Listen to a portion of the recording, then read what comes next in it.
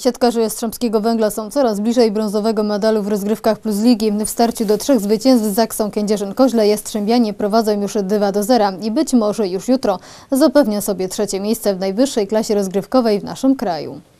Podopieczni trenera Bernardiego walkę o brąz rozgrywek Plus Ligi zaczęli od dwóch zwycięstw u siebie nad Zaksą Kędzierzynem Koźle.